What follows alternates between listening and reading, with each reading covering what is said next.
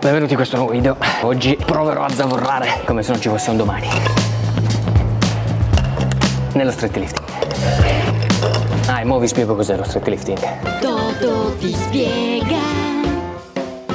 Cosa diavolo è lo street lifting? Allora, che cos'è lo street lifting? Immagina di dover imparare il muscle up, che è già drammatica così. Oppure, mm, che ne so, tipo le prime trazioni. Quando dovevi fare le prime trazioni sono toste per tutti. Ecco, lo street lifting è quello, è esattamente quello, ma con le zavorre. Sono praticamente le principali skill di calisthenic ma zavorrate. Vuoi una spiegazione più dettagliata? Beh, lo street lifting consiste in tre tentativi di sollevamento massimale su due esercizi, trazione o chin up e dip. Alcune competizioni includono anche il muscle up e lo squat. Ho letto su Google, ovvio che sì, ma perché da quel che ne so io, lo street lifting è uno sport abbastanza recente, abbastanza nuovo e poco conosciuto. Ci sono infatti diverse filosofie con diverse regole. Beh, io non sono un professionista dello street lifting, però mi piace l'energia che ci sta dietro e quindi voglio provarlo. Soprattutto adesso che ho iniziato ad andare in palestra e che quindi posso permettermi di provarlo grazie all'attrezzatura. Ma bando alle ciance, addentriamoci nel vivo, poi vedremo come si evolve la situazione. Allora vi ho risparmiato tutto il riscaldamento che sapete già è necessario sempre comunque, quindi ora iniziamo la progressione. Ovviamente non parto subito col carico massimo ma cerco di arrivarci aumentando il peso gradualmente. Non so se ci sia un ordine specifico di esercizi, nel senso se bisogna iniziare prima con il muscle up o con le trazioni, con i dip, ma non credo. Io però voglio iniziare con le trazioni. Presa inversa, che non mi piacciono, non le faccio mai, ma con le zavorre ho notato, non sono sicuro, che zavorro leggermente di più rispetto a quelle presa prona, perché credo sia più facile se ti va il bicipite. Look this che bicipite. Iniziamo con un easy 36.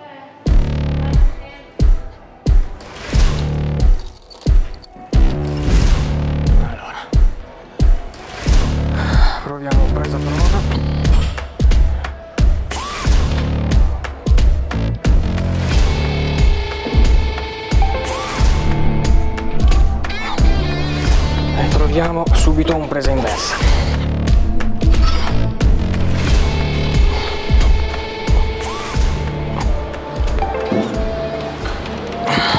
Ok, ora proviamo un 50 kg. Ho iniziato a cambiare anche i pesi prendendo i dischi perché porca miseria.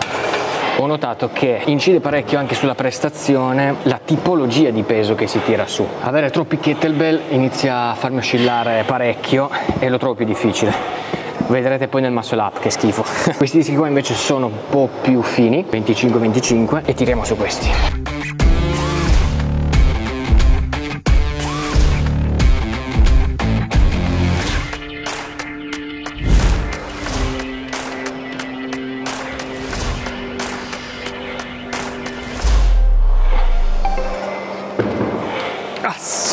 Non me ne vogliate sul regolamento specifico perché non lo so. Non so se bisogna partire a braccia tese, quanto tempo bisogna rimanere su. A questo proposito, se qualcuno di voi che mi segue è un professionista dello street lifting, magari lo pratica regolarmente o ha gareggiato, mi faccia sapere e scriva nei commenti se dico qualche baggianata, proprio perché sono nuovo di questo settore, non, non l'ho mai fatto, non ho mai provato, quindi potrei anzi sicuramente sbagliare qualcosa. Sono anche conscio di non avere proprio l'attrezzatura più adatta, però bisogna sempre fare il massimo che si può con quello che si ha. Azzarderei senza pietà un 65 e vediamo come va su.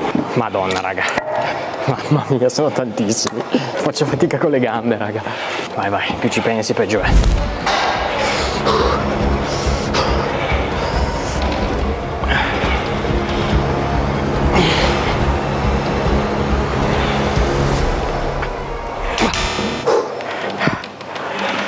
Cazzo, credo di no.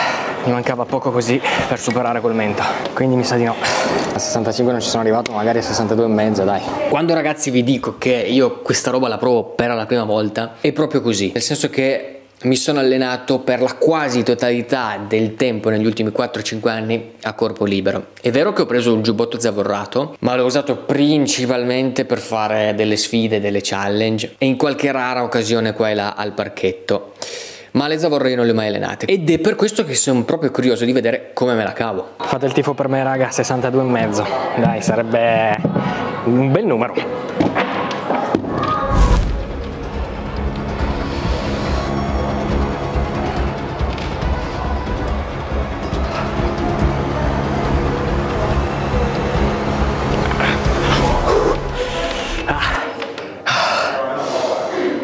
Non lo so se è valida raga.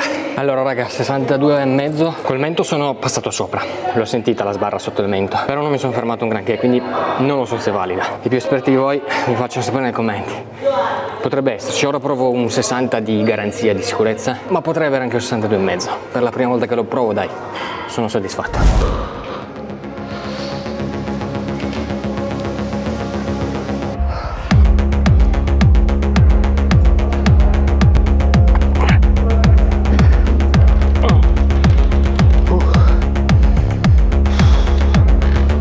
cosa che non mi è chiara, ma mi pare di aver capito che sia così e al contempo non trovo giusto, se, se è così, che le trazioni presa prona e presa inversa vengono valutate allo stesso modo, cioè l'importante è che tu tiri su in trazione il maggior carico possibile, non importa se sia eh, presa prona o presa inversa. Secondo me a presa inversa è leggermente più facile perché si attiva maggiormente il bicipite, quindi dovrebbe esserci una distinzione però questa è una mia opinione, eh? non sono sicuro di questa cosa. In ogni caso io per sicurezza provo a presa inversa. Ok, ora direi che possiamo passare al eh, carissimo, amatissimo muscle up. Iniziamo con un 10.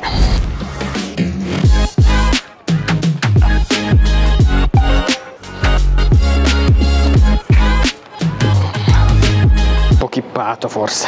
Proviamo muscle up con 15, 10 era un po' bruttino, non so, più di 15 non penso di avercela però proviamo 15. E se vi state chiedendo da dove arriva tutta questa mia forza innata, catastrofica, onnipotente, è merito dei miei allenamenti, mi faccio un culo così ci mancherebbe, però devo anche ringraziare Prozis che mantiene in vita i miei muscoli. Dovete sapere che questo per me è il primo periodo della mia vita in cui io post workout prendo sempre uno shaker proteico ovviamente da quando ho trovato delle proteine catastroficamente buone. Ormai ve ne ho già parlato fino alla nausea però io continuo a provare ogni gusto giusto per avere un feedback generale. Le mie preferite rimangono la mela verde ma anche queste qua all'ananas sono spettacolari. È ovvio che se trovate un'integrazione che vi piace è molto più facile anche seguirla. E se avete bisogno di qualcosa e al contempo volete sostenere questo canale che a malapena si sostiene da solo potete passare dal mio codice sconto TOTO10, voi risparmiate e il TOTOPixel aiutate. Ok.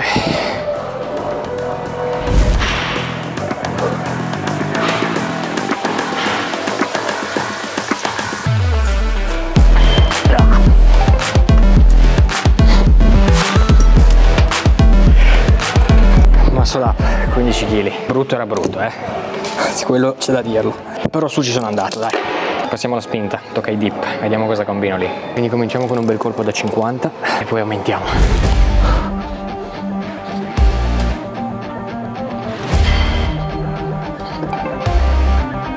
Mm, buono, buono. Andrei secco sul 70. 70.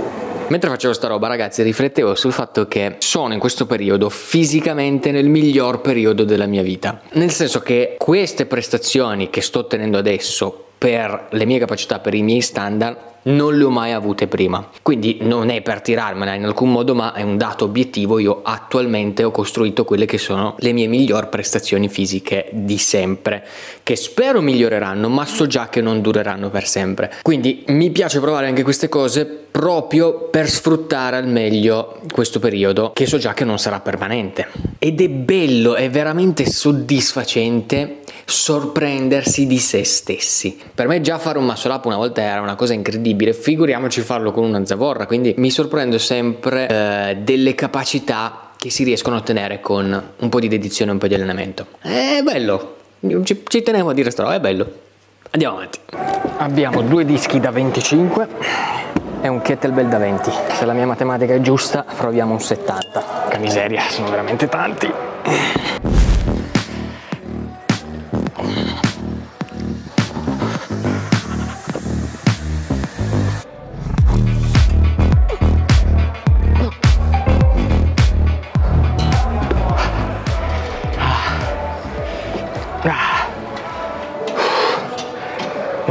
Sento svenire.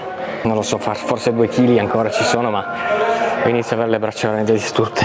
Quindi ragazzi, facendo un recap dei risultati, abbiamo 60 kg, rimarrei su 60 kg di trazione, che forse tra i vari tentativi è quella valida, 15 kg di muscle up e 70 kg di dip. Per non aver mai provato nulla di ciò, mi ritengo soddisfatto. Sicuramente il tutto con un minimo di allenamento può essere migliorabile. Manca lo squat, è vero. Nello squat ehm, ho un po' paura, ho un po' paura proprio perché non allenando mai le gambe, non facendo alcun tipo di zavorra né di peso né esercizio sulle gambe, provare un massimale così da solo mi sembrava un po' un azzardo, quindi ho preferito accantonarlo, ma arriverà, arriverà anche lo squat sicuramente prima o poi. E basta ragazzi, fatemi sapere cosa ne pensate qui nei commenti, ditemi dove ho sbagliato e cosa invece ho fatto giusto, fatemi sapere anche quanta ghisa sollevate voi. E noi ragazzi ci vediamo in un prossimo video perché ci sarà sempre un prossimo video. Boom.